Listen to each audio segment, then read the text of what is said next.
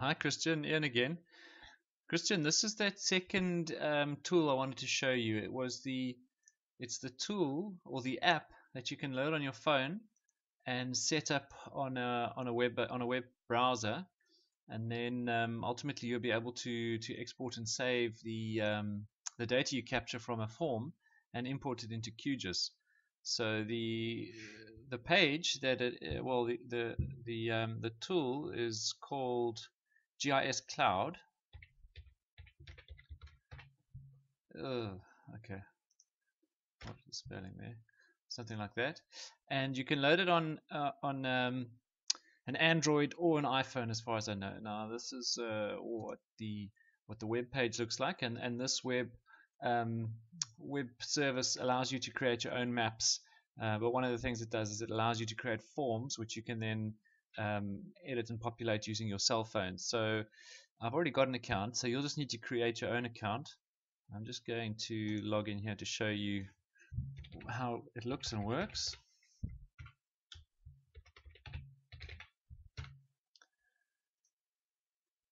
No thanks. Uh, okay, so what do you want to do first of all? Let's say we want to capture new information. Start a new project.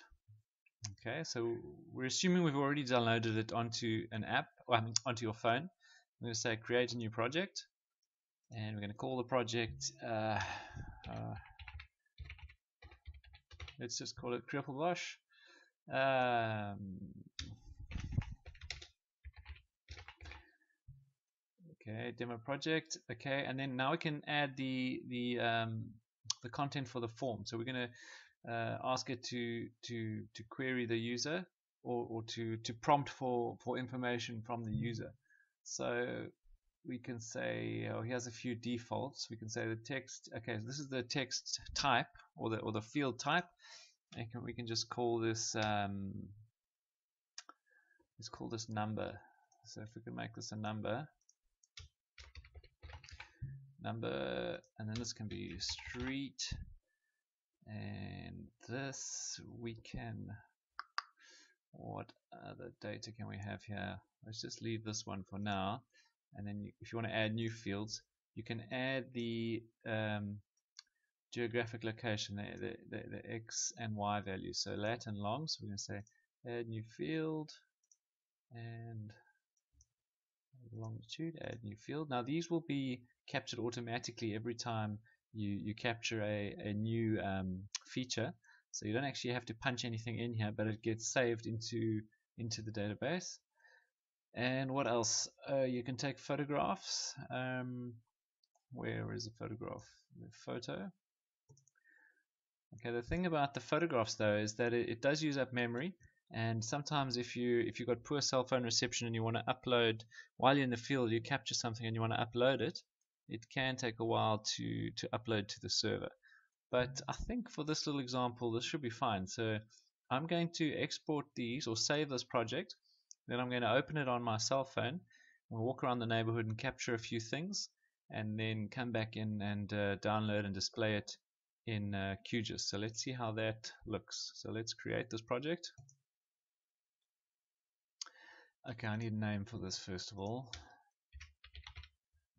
Photo. What's wrong with photo? Can't I say photo?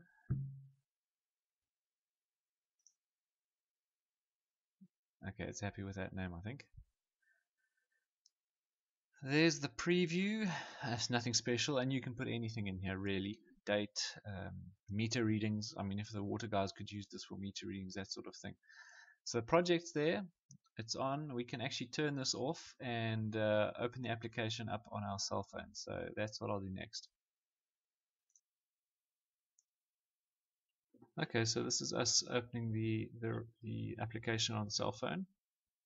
And you can go to the settings, uh, or you can choose, first of all, choose your form and then you can also adjust your settings uh, but we're just going to go to the form and uh, catch our first capture our first record and this is uh, house number three in Canberra Way and um, we'll just capture this one and, and a couple others uh, as, as a matter of interest, these are three houses that are for sale in the street. So this might be an application for an estate agent or, or whoever wants to log houses that are being sold. So we can take a photograph, add that to the record, and then uh, after we've pressed send, it'll queue the, the record and it'll be updated or uploaded next time you are within range of your of your Wi-Fi. One of the settings you can choose is to actually um, upload via your, your your your data that's on your phone. But uh, if you, if you don't want to waste your own data, you just you just queue the information and that'll automatically upload next time you connect to your Wi-Fi. So this is the that was the second house, number nine, and I think I just capture one other here. I think it's number 14. So let's capture number 14, and that's also all these all these houses are on the same street, so that's Canberra Way as well. And I think we'll also just take a photograph of this one too.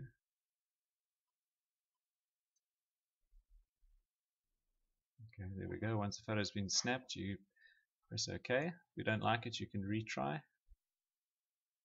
And we click send. Okay, so what you can then do is upload uh, that queue via your Wi-Fi and then have a look at it. Uh, if you look at the map, and as you can see, this uh, we only got one record in place here, and that's because the others haven't synchronized or, or been uploaded yet. But as soon as those are uploaded, those little points, the yellow dots will, will be represented for those sites uh, or houses that have been captured. And this is just a quick look at the at the queued uh, list, and these are the ones that still need to to be uploaded. Now, once those are uploaded, we'll download the CSV and open it in um, QGIS.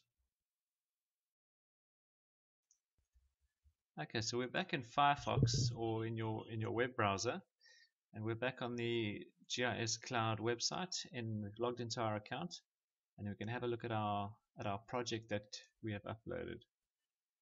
And there we go. Okay, so there's a there's a list of the the records that have been captured, and here are the locations for them. You can select them, and it'll be able to to open and see exactly which one it was.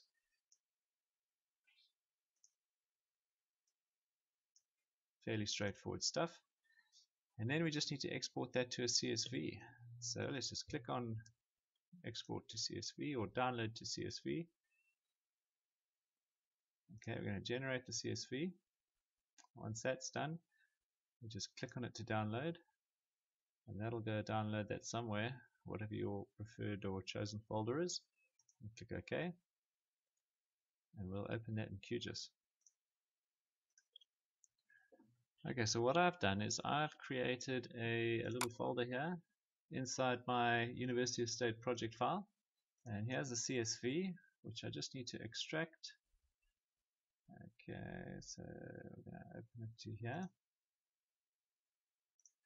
There's the CSV. If we double click that to open it, and then uh, have a look, got our street number, our street, latitude, longitude, and then this is the so this is the other thing so the any photograph that you take will be uploaded onto the site and I think depending on the size that you need you might need to get an account to increase the size of your site otherwise you can download them from your phone and store them locally on a machine. You would just need to then go ahead and change the path name of this uh, of this path here for the photograph.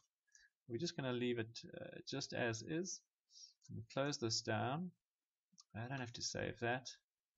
And open up our okay so we've opened up a, a new QGIS project and we want to use we're going to use uh, some of the data from our tutorials and um, where are we going here tutorials I think tutorial yeah the linking attribute data had a Kurapalgosh shape file we'll just go grab that one quickly there it is say open there we go. So there's there's a, a, few urban which is will be in the same location as the stuff we want to add. Let's quickly change this color because I don't like this color. This is just me faffing really. Okay, so let's open, let's add that CSV which we downloaded. So we just need to browse for it, and it's in, it's on our desktop. projects spatial GIS cloud wash right there it is and everything's been prompted already and this will be um, the, the coordinate reference system for this will be WGS84 so let's open that. Select WGS84 and it should be if you can't find it just minimize everything and then go looking under the geographic coordinate system at the bottom. Starting with the WGS84 or it could be in your previously used uh, coordinate reference systems. We say OK and bang there they are. Okay so it's as simple as that. We've uh, we've managed to to capture it using that that um, that application using Android or, or your iPhone. And then from that website we've all we've done is export the CSV and then opened it up here. So it's a nice way for you to to integrate um, stuff that you've captured in the field into a, an existing project. So that's that's pretty much it really. The the tool is there's nothing much more to it than that. So yeah give it a crack and see if it's useful for yourself. Otherwise I hope, uh, I hope this has been useful. Um, give us a shout if you have any questions. Alright cheers